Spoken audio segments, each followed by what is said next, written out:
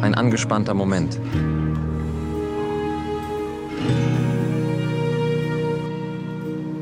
Es war nicht genug Flüssigkeit vorhanden, um abgelassen zu werden.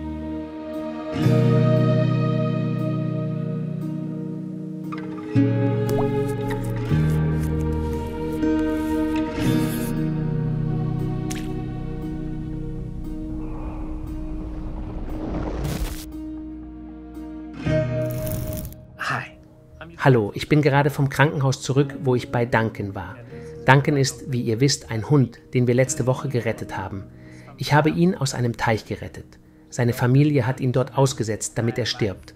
Ein Hund, der wahrscheinlich sein ganzes Leben bei einer Familie verbracht hat. Und dann langsam, langsam wurden sie seiner überdrüssig und sie begannen, ihn zu vernachlässigen, bis zu dem Punkt, an dem er heute ist. In dem Moment, als ich ihn bekam, erkannte ich seltsame und besorgniserregende Symptome. Er hustete und konnte kaum atmen. Und das war nicht die Art von Husten und flacher Atmung, die typisch für Lungenprobleme ist. Das war ein Herzproblem. Also fuhr ich so schnell ich konnte ins Krankenhaus und wir begannen an ihm zu arbeiten. Das erste, was wir machten, war ein Ultraschall. Und im Ultraschall bemerkten wir, dass er etwas Flüssigkeit im Herzen hatte.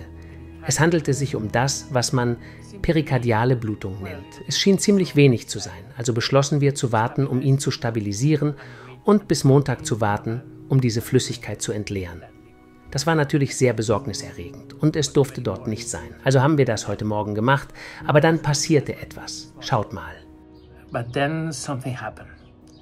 Have a look.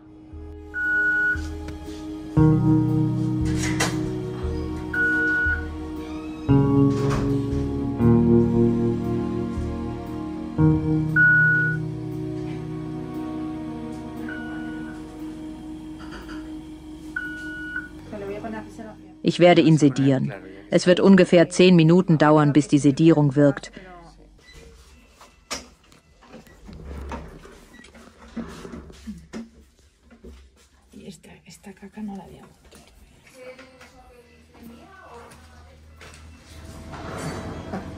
Überwältigen wir ihn nicht um Himmels willen.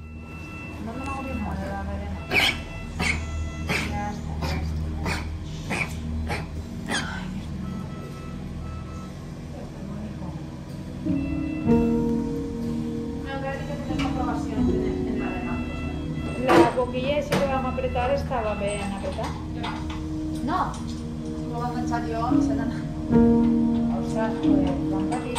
no.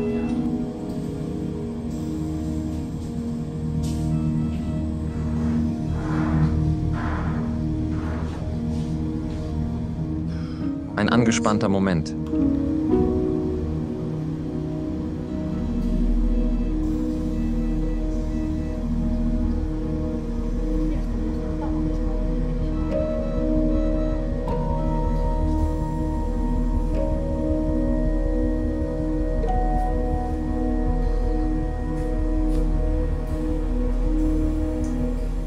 Das Herz muss sich zusammenziehen können.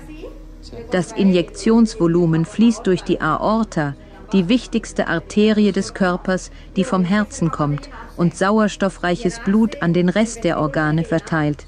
Und der Ventricle muss in der Lage sein, sich mit sauerstoffarmem Blut rechts und sauerstoffreichem Blut links zu füllen. In diesem Fall füllt es sich leider weder richtig noch entleert es sich richtig. Also ist es die Flüssigkeit, die es daran hindert, richtig zu funktionieren? Ja, es ist ein Erguss.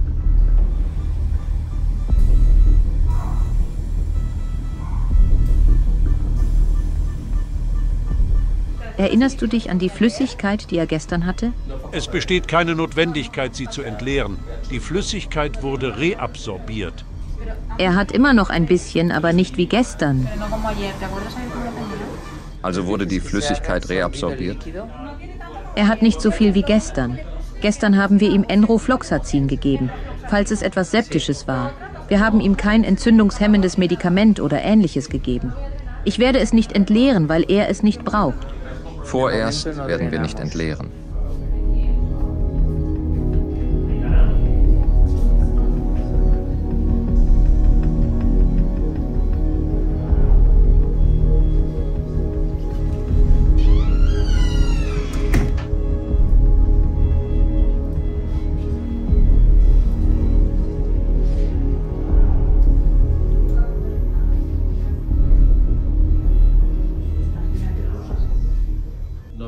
Es gab nicht genug Flüssigkeit, um eine Entleerung zu rechtfertigen.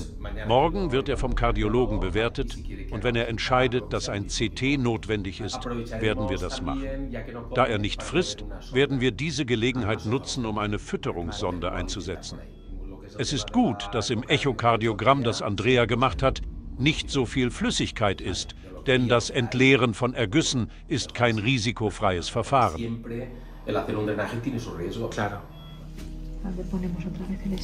Jetzt werden wir ihn wieder unter Sauerstoff setzen.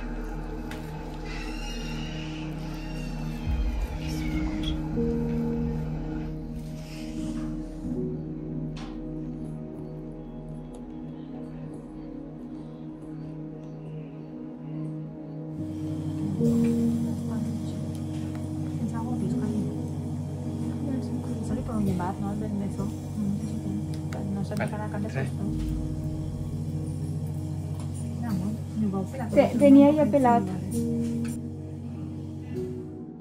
Wir haben gerade das Albumin kontrolliert. Es ist ein bisschen niedriger als gestern. Und die Anzahl der roten Blutkörperchen ist gefallen.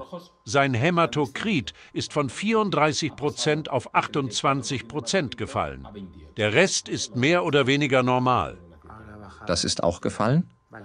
Ja, weil er nicht frisst. Morgen wird er vom Kardiologen gesehen und wir werden eine Fütterungssonde einsetzen.